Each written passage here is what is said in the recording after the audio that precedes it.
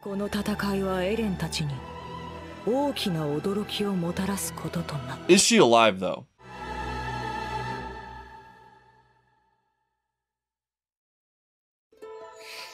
Come to think of it, in my continued theory that hair color is super important, Hanji looks a lot like Ymir, doesn't she? Who else? Reiner's blonde. Sasha. Sasha? I mean, everybody has brown hair or blonde hair. Are they all just Titans? Except for Connie, whose gray haired butt comes from a blonde haired mother, and Jean Jean, also with gray hair.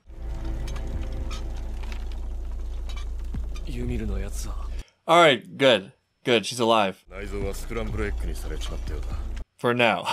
but she'll be in a coma for a couple seasons, so we can't get answers. Reiner,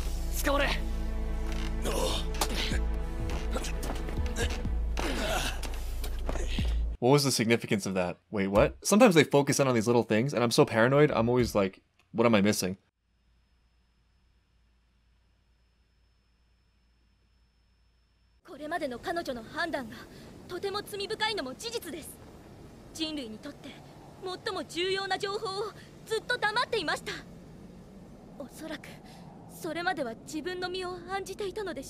I don't know what the truth is, but I can think of another alternative, which is that there's a battle going on still, and you have to be careful with your identity, not because of the threat of normal people, but because of the other struggle, whatever struggle that is. I mean, just look at what happened when Eren got exposed as a Titan, right? That seems to have led Annie to him. Hanji's taking this all in, but I feel like this is getting easier and easier to believe, this kind of thing. Yeah. And Hanji's gonna be curious what she knows. Right, right. The secret to Hanji's heart is information. Understatement of the season. Family descended from gods? What do you know, Hanji? I knew it!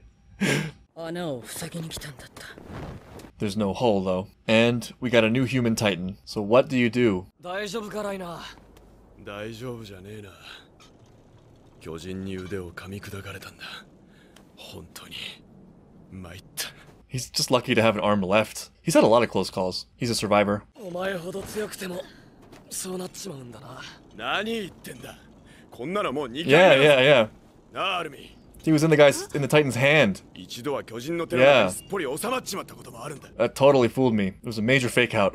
あの時 and that was Annie. 兵士をやるってのはどうも体より先に心が削られるみてえだまあ壁を塞がねえことにはしんどいだのと言ってる暇もねえが It's funny he ended that speech with that because as he was saying that, I was wondering like, why does that for some reason feel endearing or sweet? Maybe it's just because I already like him. You know, that's how it works if you like someone. You just start seeing them through that lens. Similarly, if you dislike someone, you also start to see a lot of their behaviors in a more negative light. But I just like Reiner. That moment didn't feel like complaining, right? It just felt like him processing and accepting, which is why I felt so great that he ended that with, well, I guess I just gotta, you know, do what I gotta do. because yeah, look what they just went through. That was horrific. He got his arm bit by a titan. He nearly jumped out the window. They were all near death. He watched Ymir nearly die. He just seems really mature. 俺は大丈夫だライナーが腕噛まれてユミルは見ての通りだけどな Yeah, she's lucky to be alive.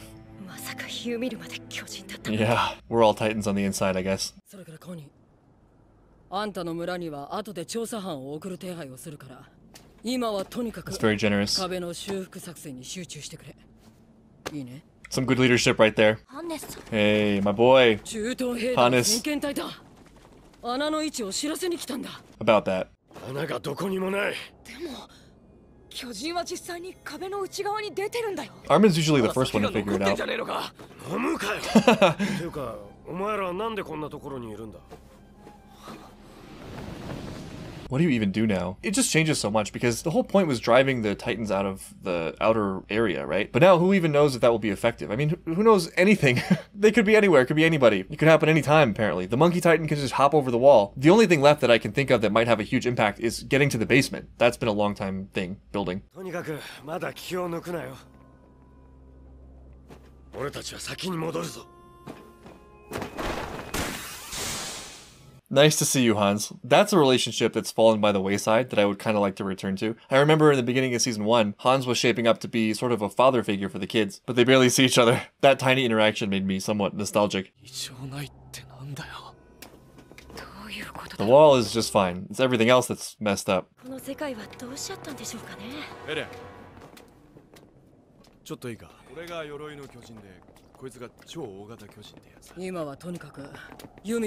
Huh? What? Repeat that? 俺たちの目的はこの人類全てに消えてもらうことだったんだだがそうする必要はなくなった What? お前が俺たちと一緒に来てくれるなら俺たちはもう壁を壊したりしなくていいんだ Huh? Excuse me? Come again? Reiner. It kind of does look like Reiner, doesn't it? It was them? I need a moment to process this. Their mission was to destroy humanity, but now there's no need if Eren goes with them. Is every character just a titan? Just everyone? I feel kind of betrayed. But Reiner is such a gentle soul. is that why Ymir attacked them? Are they on opposite sides? One of the first thoughts I had when he said that was that that in some way means he was responsible for the death of Eren's mom, and that's not going to go over well when he makes that connection. This is crazy. Not, not really. You need to explain more first.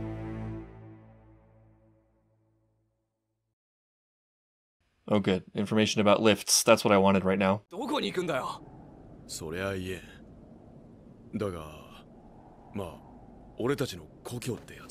Do you guys have a basement too? Eren is unusually calm about this. Eren, speaking for the viewer. Every episode it's just something else to add to it. Oh, here we go. The obligatory flashback. 君たち104機の中に2名ほど彼女と同じ地域の出身者がいるようなんだライナー・ブラウンとベルトルト・フーバ Are they on the same side as Annie? Same objectives? ーエレンが右翼側にいると知らされていたグループに Yeah, there was a lot of misinformation that time. 女型の巨人が出現したのも右翼側でしたどういうことですか Right, that was a major clue. Does that mean that whole thing was fake? Is that how Reiner survived? They just showed that flashback again. Something weird happened there. So I can only see a couple options. One is that they had a change of heart. Two is that this is wrong and they actually weren't working with Annie. And three is that it was staged for some reason. But Krista also showed up there, right? That might be a coincidence. おい待てよアルミ何言ってんだお前分かってるよエレン Once again, Armin figured out before everyone else. 訓練兵時代の3人の関係性などが知りたいどう思う ライナーとベルトルトが同郷なのは知っていましたが Annie and Reiner had a little something, didn't they? 二人が兄と喋ってんの There was that one scene, wasn't there? The enemy comes in many forms. Artillery's not always going to be the answer. Soldiers, the ones worth their salt anyway, are ready for anything. Don't believe me? Look. Yeah, what about her? Maybe somebody ought to give her a talking to. Give her a little hard knocks lesson in preparedness. Okay, so I just went back and watched that scene, and it feels a lot different now. It does actually seem like Reiner is familiar with Annie, and that he's trying to antagonize her in a way. And he talks about reminding her of why she signed up, which has an extra meaning now, because obviously they had a whole other agenda. My guess now, based on that scene, is that they were at one time allies, but then had a falling out. Because it did seem like they were actually fighting on the field with Armin. There are a bunch of little previews in that scene, like her saying that her father taught her how to fight, and her expressing her cynicism about about society and those in power, and what seems like a warning to Eren about, you know, continuing his training and enlisting in the Survey Corps.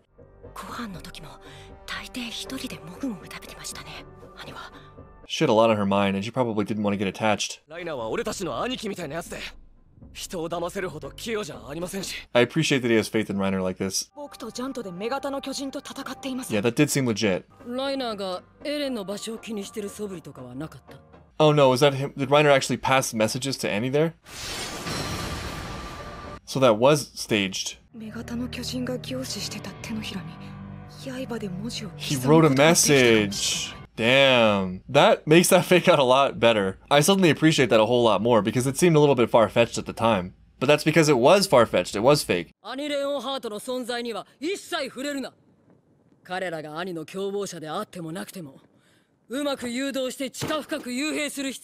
Do they even know about Annie? Because this whole thing kicked off while they were in confinement during the battle with Annie, and then they left. But for me, even though this is a huge shock, it doesn't really change all that much about my feelings about Reiner just because I've been convinced for a while, starting with Annie, that they may actually have really good reasons for it. And it's even easier for me to believe that's the case with Reiner just from my feelings about him and what we've seen. And the fact that we just saw him try to be reasonable with Eren. So he's not just an evil rampaging monster obviously. There's something really important going on, and I trust that somebody like Reiner and also Bertholdt would not be doing this mercilessly or heartlessly. In fact, this development makes me even more convinced that this crew, at least the way they're thinking about things now, is on the wrong side in some way. Apparently, there's something bigger at stake than humanity itself. And I can think of a couple wild theories for that. One goes back to my loop idea, right? That there's some kind of cycle. And so one iteration of humanity might not matter in that case. Another theory is that there's something godlike or creator like that takes precedence over humanity But yeah, although it feels counterintuitive, there's something else at stake for certain people who are in the know. 全員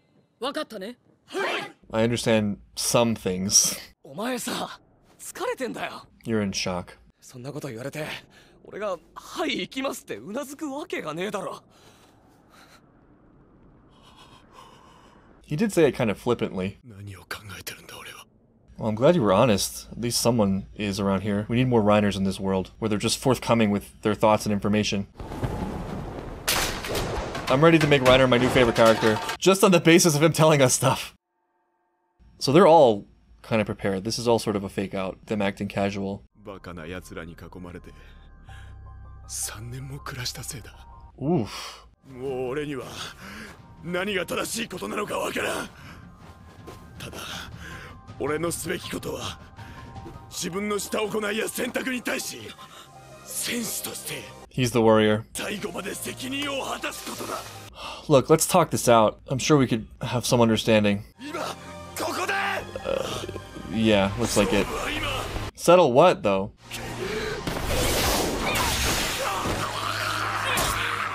No, this is a mistake.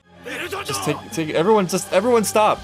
everyone take a minute. Take a breath. This is Reiner and Bertholdt. Come on, they're they're good people. All he said was that he was ready to face the consequences of his actions as a warrior. Does that necessarily mean he was about to transform and attack Eren? Possibly, probably, but not guaranteed. It's Reiner right? it's Reiner and Bertholdt. Let's not forget the Connie shoulder pat. He may have faked the near death experience with Annie. He may have faked hating the Titans. He may have faked everything. He did not fake that shoulder pat. He meant that. I felt that in my bones. But Mikasa, being so trigger happy, just forced the issue, I guess. I'll be so upset if one of them dies from Mikasa.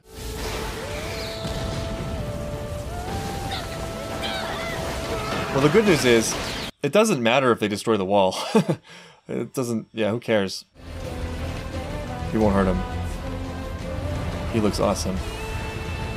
All right, can't help but notice he has gray hair. So why all the why all the abuse when I thought that the female titan was Mikasa, and I got all these comments like Mikasa doesn't have blonde hair, Alex. Well, Reiner doesn't have gray hair. So yeah, I'm yeah I'm getting defensive. Let it go already. It was season one. This is wind bending all over again. Is it me or did he get a lot bigger? Did they just take Koma Ymir? Just let it happen. Let it happen.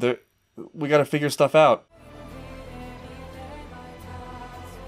No, but it wasn't. It wasn't fake though. Some of it was real.